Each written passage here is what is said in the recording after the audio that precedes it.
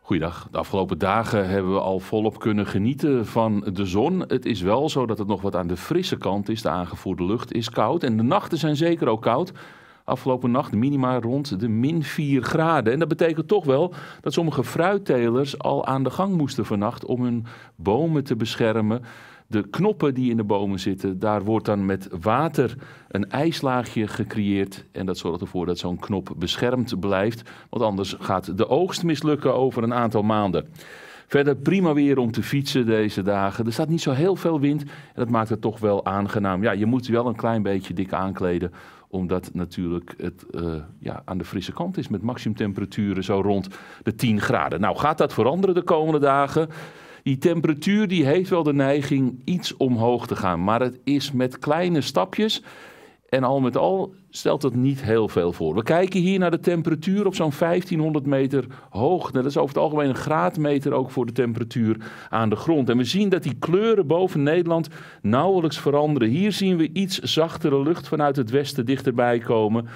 Maar het stelt niet heel veel voor. En u kunt zich voorstellen dat die temperatuur dus ook niet spectaculair omhoog zal gaan de komende tijd. Hier ook weer zo'n belletje met warme lucht, maar ook dat kan niet echt doordringen. En dat komt omdat de bovenlucht toch nog wel een vrij strakke westelijke stroming op gang houdt. Die meandert weliswaar.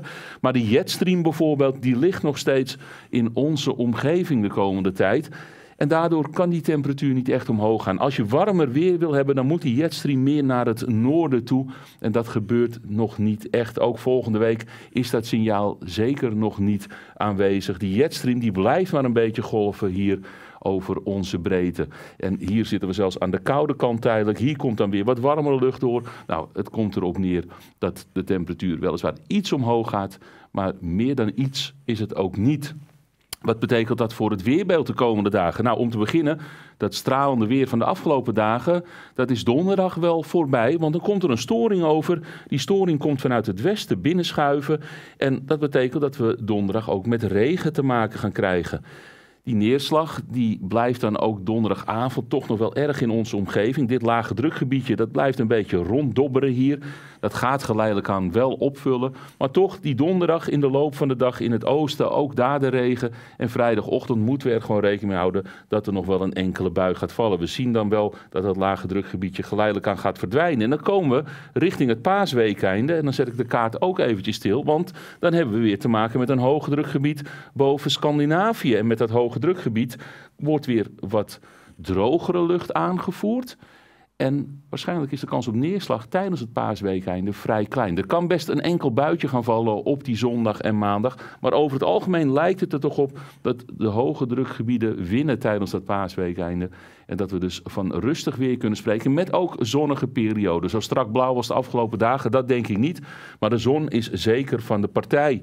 Als we de animatie nog even verder aanzetten, dan zien we dat dat hoge drukgebied op zich nog wel aanwezig blijft. En dat dan ja, op maandag vanuit het westen geleidelijk aan weer een storing dichterbij gaat komen. En dat zou dan weer op dinsdag bijvoorbeeld voor regen kunnen gaan zorgen. Kortom, een tikkeltje wisselvallig, dat is het wel. Nou goed, naar de dagkaart voor morgen.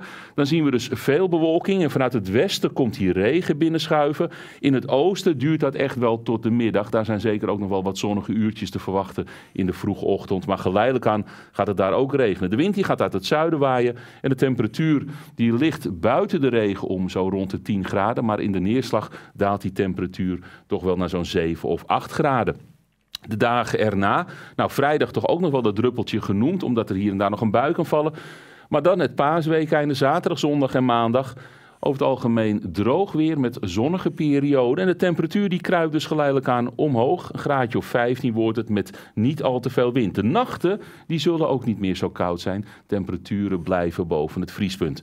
Kijken we toch ook nog eventjes verder naar de pluim. Zien we dan dat het echt warmer gaat worden.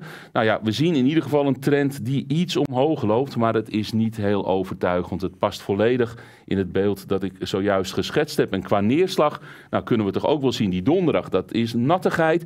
Vrijdag en in het weekende valt het op zich wel mee met die neerslagkansen. Maandag misschien dat buitje en de dagen erna ja, blijft die buienkans toch ook nog wel aanwezig. Kortom, we hobbelen gewoon verder in deze aprilmaand, laat ik het zomaar omschrijven. Met temperaturen overigens die voor midden april best heel normaal zijn.